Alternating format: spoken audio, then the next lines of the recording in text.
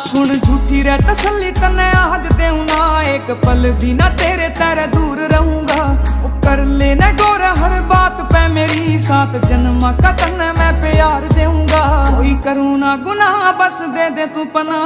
करूँ ना गुनाह बस दे दे तू पना चाहे गीता पहले रख मेरा हाथ बावली वो तेरा नाम मेरी हर एक सांस पे तू माने या ना मान मेरी बात लाड